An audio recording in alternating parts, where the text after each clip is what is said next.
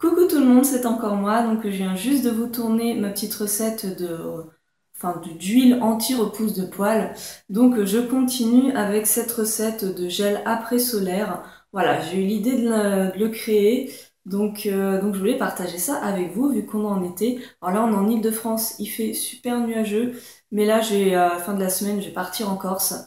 Donc on aura du beau temps, du soleil, donc je pense que ça va m'être très utile. Donc cette recette, je vous l'avais dit, dans mon haul aromazone, en fait, j'ai mis de l'huile végétale de tomate. C'est pour ça qu'on obtient cette jolie couleur orange. Donc l'huile de tomate, en fait, elle est très bien pour préparer la peau au bronzage. Euh, voilà, peut-être, voilà, ça va peut-être apporter euh, un bronzage plus efficace. Là-dessus, je ne sais pas trop ce que ça vaut, mais en tout cas, c'est très bien en après-solaire, donc pour réparer la peau, pour euh, quand même préserver le bronzage. Donc c'est ça qui m'intéressait.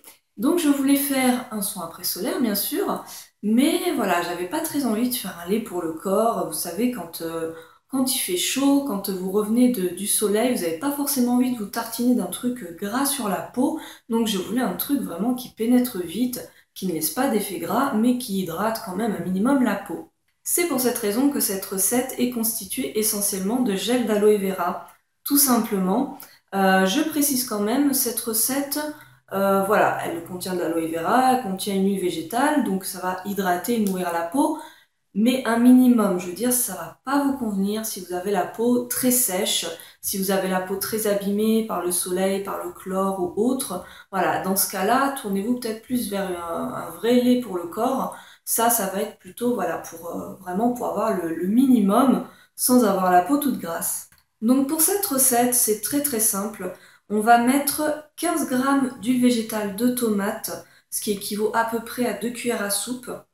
Ensuite, on va mettre 45 g d'aloe vera, ce qui équivaut à peu près à 3 cuillères à soupe. Voilà. Euh, donc ça, c'est vraiment la recette de base. J'y ajoute 0,6% euh, de cosgar, ça va permettre quand même de, conserver la préparation puisqu'il y a de l'aloe vera. Euh, donc j'ai préféré en mettre quand même. Euh, à cela, j'ai ajouté, mais c'est facultatif, 0,5% euh, de bisabolol, puisque le bisabolol va réparer la peau et va l'apaiser. C'est un très bon soin pour les peaux un peu irritées, même en post-épilation, vous voyez, ça va apaiser la peau. Donc je me suis dit que ça pouvait être très intéressant en soin après solaire quand la peau est quand même bah, un petit peu agressé par, la, par le soleil. Hein. C'est vrai que c'est quand même, euh, surtout au début, c'est un peu agressif pour la peau. Donc je me suis dit que ça pourrait être pas mal. Si vous n'avez pas de bisabolol, vous n'êtes pas obligé d'en mettre évidemment. Donc pour la recette, encore une fois, c'est très simple. Vous désinfectez bien vos, vos, contenants, vos cuillères, etc. Et tout simplement, vous pesez un à un vos ingrédients et vous les mélangez ensemble. Ensuite, vous remplissez votre petit flacon et c'est prêt. Si jamais vous n'avez pas d'huile végétale de tomate, sachez qu'il y a d'autres huiles végétales que vous pouvez utiliser pour fabriquer ce soin, notamment le macérat de carotte. Euh, donc je dis macérat parce qu'en réalité c'est pas de l'huile de carotte, l'huile de carotte ça n'existe pas, c'est en fait des carottes qu'on fait infuser dans, de l'huile. Donc voilà, le macérat de carotte c'est très très bien aussi en après bronzage, mais il y a d'autres huiles, je crois que la buriti aussi ça donne un bon, un bon teint euh, pour l'été, ça peut être sympa.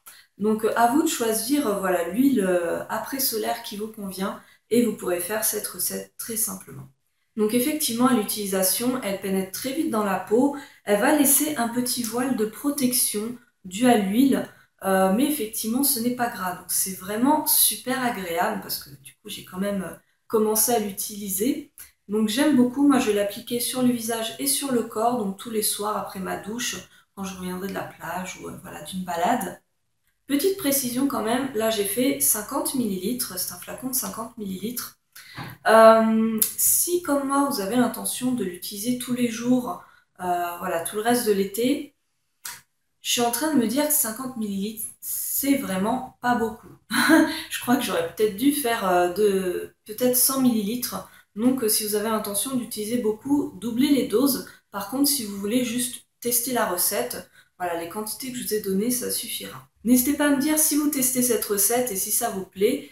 Et n'hésitez pas aussi à me dire si vous avez d'autres recettes euh, que vous aimez bien en après-solaire. Voilà, sur ce, je vous laisse. Je vous souhaite un bel été et je vous fais plein de gros bisous. Salut